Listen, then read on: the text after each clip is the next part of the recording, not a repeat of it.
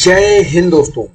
भूतपूर्व सैनिकों के लिए वैकेंसी निकली हुई है और वैकेंसी के बारे में बताऊँ तो लगभग 900 से ऊपर वैकेंसियाँ हैं। इसमें भूतपूर्व सैनिकों के लिए आप देख सकते हैं, अलग से रिजर्वेशन दिया हुआ है, लेकिन इसमें एक चीज़ है रिजर्वेशन के बारे में।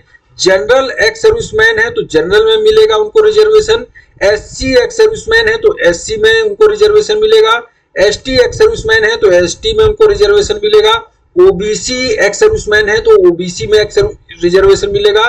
एमबीसी एक्स सर्विसमैन है तो एमबीसी में एक्स सर्विसमैन को रिजर्वेशन मिलेगा। ईडब्ल्यूएस e है एक्स सर्विसमैन तो उनको ईडब्ल्यूएस e में आरक्षण रिजर्वेशन दिया जाएगा।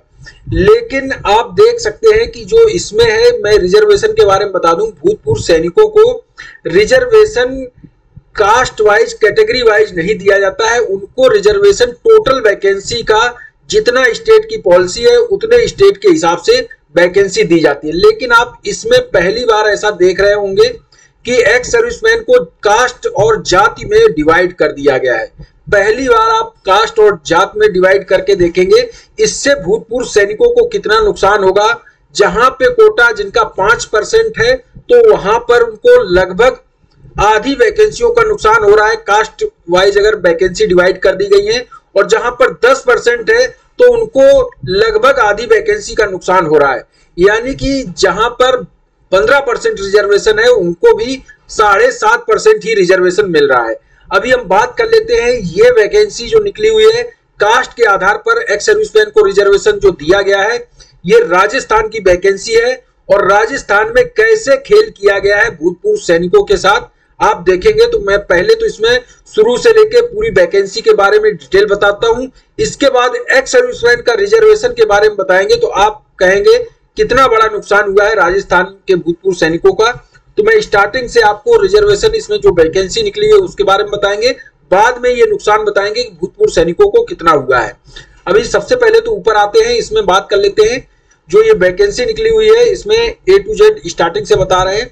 राजस्थान लोक सेवा आयोग अजमेर की तरफ़ से वैकेंसी 28 छह 2023 को ये नोटिफिकेशन जारी हुआ है। इसमें 905 905 वैकेंसी है। 905 वैकेंसी जिसमें राज्य सेवाओं की 424 पोस्ट है और अधीनस्थ चयन सेवाओं की जो वैकेंसी है, चार सौ इक्यासी पोस्ट है। इसमें अगर देखा जाए, राजस्थान में साढ़े बारह परसेंट रिजर्वेशन रहता है तो इसमें दस दस परसेंट भी मान ले तो लगभग नब्बे वैकेंसियाँ एक्स सर्विसमैन की होनी चाहिए। वैसे तो सौ होनी चाहिए क्योंकि साढ़े बारह परसेंट रिजर्वेशन भूतपूर्व सैनिकों के साथ होता है राजस्थान में। अभी हम इसमें बात कर लेते हैं, जो राज्य सेवाएँ हैं 424 पद है। इसमें जो वैकेंसी डिवाइड की गई है अलग अलग डिपार्टमेंट हैं, आप देख सकते हैं, राजस्थान पुलिस सेवा की 60 वैकेंसी है, राजस्थान लेखा सेवा की 130 वैकेंसी सारी डिवाइड की गई है। और इसमें पे लेवल भी लिखा है, क्या पे लेवल आपको दिया जाएगा। अभी आगे बात कर लेते हैं जो दूसरी अधीनस्थ सेवाएँ की चार सौ इक्यासी वैकेंसी है। इसमें भी अलग अलग डिवाइड की गई है। डिपार्टमेंट के अनुसार राजस्थान सहकारिता अधीनस्थ सेवा की 196 वैकेंसी है। राजस्थान तहसीलदार सेवा की 102 वैकेंसी है। तो अलग अलग डिवाइड की है। इसमें पे लेवल भी लिखे हैं। तो आप सैलरी देख सकते हैं इसमें। इसके बाद अभी बात कर लेते हैं इसमें क्या एजुकेशन चाहिए और फिर आरक्षण के बारे में बात करेंगे। कैसे आरक्षण में कमी की गई है? भूतपूर्व सैनिकों को जातियों में बांटकर और उनके जातियों में बांटने से बहुत नुकसान हुआ है भूतपूर्व सैनिकों को, यानी कि भूतपूर्व सैनिकों का आरक्षण आधा कर दिया गया है। आप जब देखेंगे इसमें जो एज मांगी गई है, एज आयु सीमा में 21 से 40 साल आयु चाहिए, लेकिन भूतपूर्व सैनिकों को एज रिलैक्सेशन ज़रूर मिलेगा इसमें, लेकिन आरक्षण जो है वो काफ़ी कम कर दिया गया है।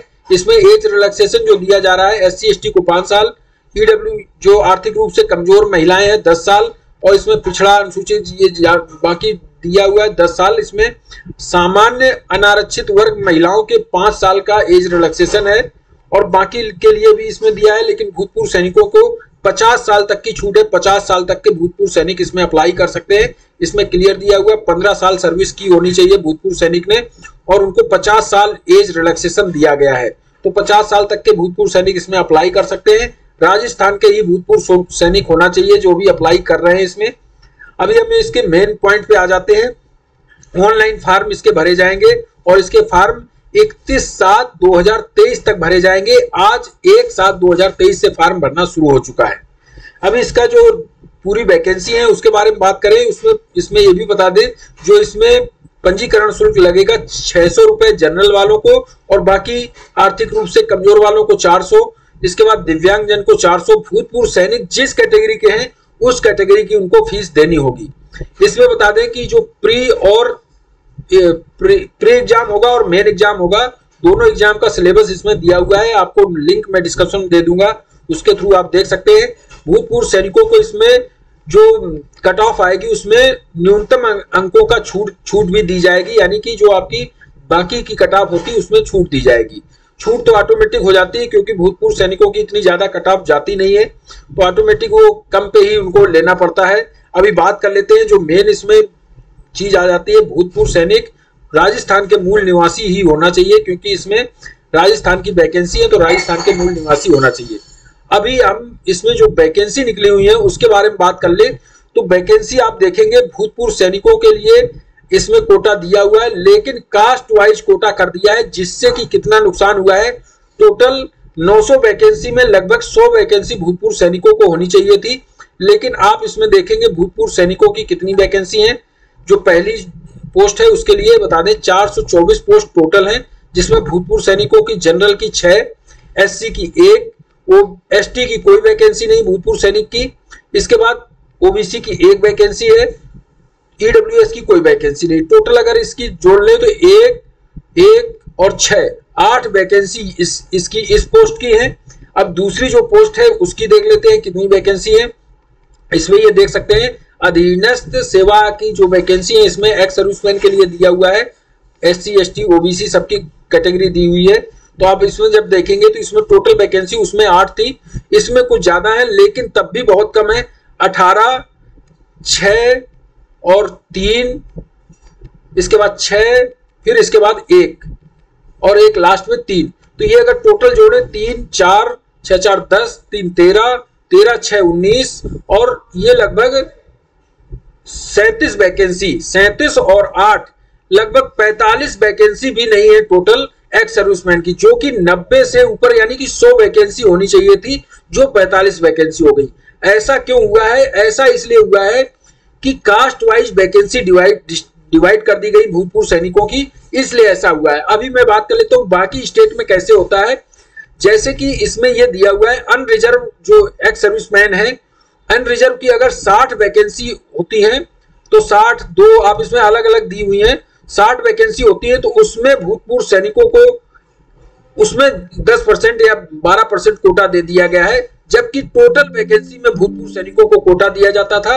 टोटल वैकेंसी में जब कोटा मिलता था, उसमें काफ़ी अच्छी छूट हो जाती थी। यानी कि टोटल वैकेंसी में जब कोटा मिलता था तो काफ़ी वैकेंसी हो जाती, जितना कोटा होगा, उतना। जैसे 900 वैकेंसी है तो उनका लगभग 90 से भी ऊपर उनके कोटा होना चाहिए 90 वैकेंसियों से ऊपर, क्योंकि राजस्थान में साढ़े बारह परसेंट रिजर्वेशन आरक्षित है भूतपूर्व सैनिकों की। तो ये थी जानकारी इस वीडियो में इतना ही। वीडियो अच्छा लगा हो तो लाइक करें, चैनल सब्सक्राइब ज़रूर करके रखें, जिससे कि लेटेस्ट जानकारी मिलती रहे। थैंक यू जय हिंद।